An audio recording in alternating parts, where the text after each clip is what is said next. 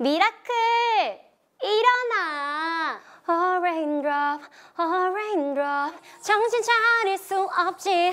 나를 따라 easy 대표님 너보다 지금 더 떡상했어. 이러는 거예요. 그래서 딱 근데 갑자기 아!